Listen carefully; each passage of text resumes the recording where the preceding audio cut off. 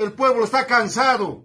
Hoy más que nunca le dice alto y basta a esas medidas que ha sometido al pueblo a través del Fondo Monetario Internacional, cesando ministerios, viceministerios, sacando decretazos en contra del pueblo boliviano, queriéndonos acallar a nombre de pandemia.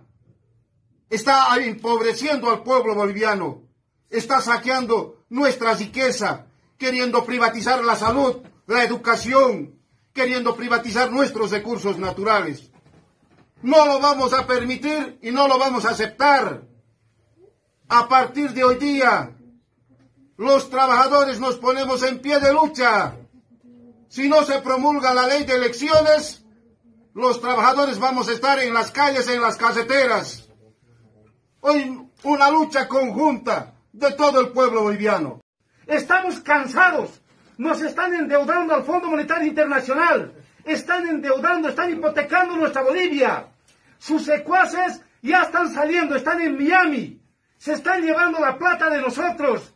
Y no es justo que el día de hoy la gente que ha luchado por un cambio en su momento esté totalmente arremetido, presionado por este maldito gobierno.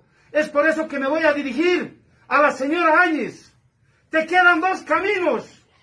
Uno es aprobar de manera inmediata la fecha de elecciones el 6 de septiembre.